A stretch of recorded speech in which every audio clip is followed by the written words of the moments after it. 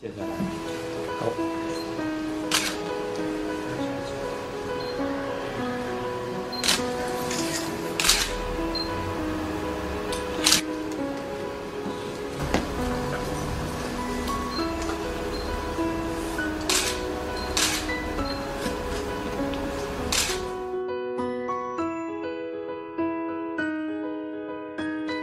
所以那时候坦白讲还蛮紧张的。我觉得，我觉得应该说最紧张的其实是 Kimi 出生。我开车我自认为都是非常的有有把握跟很有信心的。开车对我来讲跟吃饭是一一样的事情。对的，对可是没想到我最紧张开车的竟然是在 Kimi 回家的那一天。哦，就是呃，出生完在医院的第第三天吧，要出院。嗯，第三天要出院，然后把它放放在一那个婴儿婴儿座上摇篮嘛，不，我说车上嘛，嗯，车上我在开车的时候，哎，没想到我怎么会怎么会开的这么紧张，你知道吗？就是踩油门也不敢踩大力，踩刹车也不敢太大力，一切都是就是非常非常小心，有点比赛车还小心的那种心情在开，你知道吗？这个是我没有想到，没想到，哎呦，我最擅长的开车，我怎么变得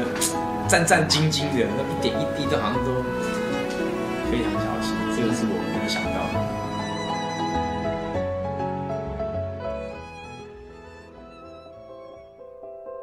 一切都是按照正常的法律程序来走，那更何谓来的假之说，嗯，对不对？嗯而且还会引用标题说四块卖一零八零，这根本就是非常不合理的事情所以对。，就是大家也不知道他那个四块是怎么算出来的。对，我也我也很想请问那个那家媒体跟他们，就是说他们怎么去计算出四块这个东西？而且我是一整盒里面有三十支卖一零八零，一支除下来，你不要去算整盒的包装，甚至呃里面的一首新歌 USB 的新歌里面的一本精美的一个逆逆龄日记簿，做的很漂亮，还进门拍照、录歌、镶钻的那个 USB，然后精美礼盒卖一零八零，很多人都说哇，这个太超值了。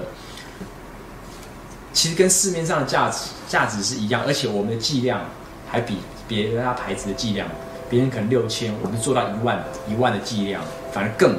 更精致，做的更好。可是，所以不知道，所以大家会把标题就是什么四块什么一零八零暴利对对对对，我觉得这是标题党。不对。那我也没回应。嗯嗯，那我发现，哎，怎么越来越越多这种讯息？我觉得不对，那该是出来说话的时候。然后来这个事情，哎，又又我又回来回应回应之后，哎，闹闹出来，哎，这个事情更大。然后工商局啦，什么各各大单位都来检查，也都合乎一切的正常法规啊、流程啊，也都都很好啊。嗯，对，我觉得像我现在今年开始，我也讲了，我说我要用一个全新的看法来面对这一个全线影音生态，因为它跟以前不一样。嗯，呃，现在会有很多，因为现在的传播的速度太快了，呃，不管对与错，我觉得只要有错的，你就要勇勇勇敢的说出来，你不能沉再沉默，你沉默人家认为你是默认，真的有这一回事，而且甚至媒体很多媒体就开始跟着报道，因为现在大家要的是点击率、事事件、新闻点、标题，那或许在这一行里面，就是你要把你的有该是时候，尤其现在这个时候，你不对，你就是要勇敢表达出来，就讲出来，你只要站得住脚，对而不是一而再再而三被人家评论攻击。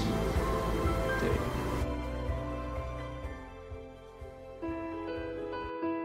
因为或许有很多人也是想要这种心态啊，他觉得这也是一种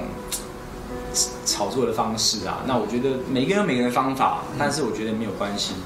那甚至在这当中也有去质疑我的赛车，也有人去质疑我的奖项，但是我觉得这些我就不会去理他，因为我这么多年来赛车，难不成我赛车这些都假的吗？然后哪些假是假的吗？这些成绩其实这么多年来，大家都跟我都是有目共睹，一起在成长的，所以对我的质疑，我不会去不会去在乎，嗯对我反而反而会让我的歌迷们更更团结，甚至有看到一些微博说啊，我看到你一直被黑，反而我再来仔细看你的过去的一些东西，哎，反而我更喜欢你。很多艺人都经历过这一关，嗯，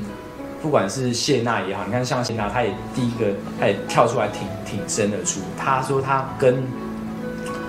呃，她也有经历过这一段，被黑的很惨，大家不被看好他们，然后什么什么之类的。那是，但最终他们也证证实他们的的的那个，然后有些艺人也是嘛，当你站在那个位置的时候，势必会遭受到很多的一些。攻击，那像范冰冰也是，嗯，也也是一样。其实很多很多都是。那我觉得，尤其是在我，我觉得我并不会被这些所打倒，因为我在这一行又不是刚刚入行。没错，我经历过，我都敢去赛车，我都敢去经历过这种生与死，我会去在乎这些这些留言嘛，这些东西，甚至我在自己的人生。红也横过，低潮也低潮过，就上上下下也这么多次，我自己也都说，呃，这应该算是我事业的第三，第三算吗？应该算。你一开始第一出道，嗯嗯，再来就是绝代双骄，嗯，的那一个阶段戏剧，你看绝代双骄那么红，段誉各方面放羊的星星一路过来，然后现在又又又在第三，人生能有几次这样的一个对高潮？其实，在演艺圈真的是。没错，很难的事情，所以，所以我自己其实也平常心吧，我自己也平常心去看待现在这一切。就是十几岁的时候，你本身的这个人品性格，你万一将来很多人在看，走在路上，大家最好拉拉不要看我，自己做自己的就好。其实我是这样的人，并不是，并不是站在，可站在舞台上那是另外一回事。